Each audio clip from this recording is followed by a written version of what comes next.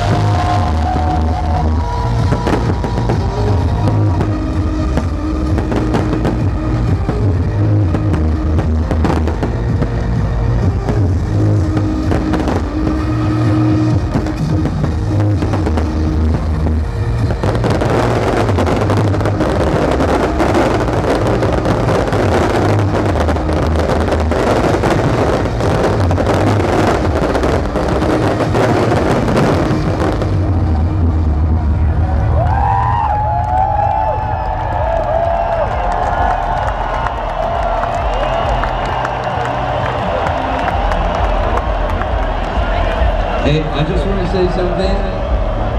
I played from the first Tomorrowland 11 years ago to today, and I think this was my favorite ever. So thank you so much. You've been amazing. I love you guys for real. Tomorrowland brothers and sisters. Too much has been said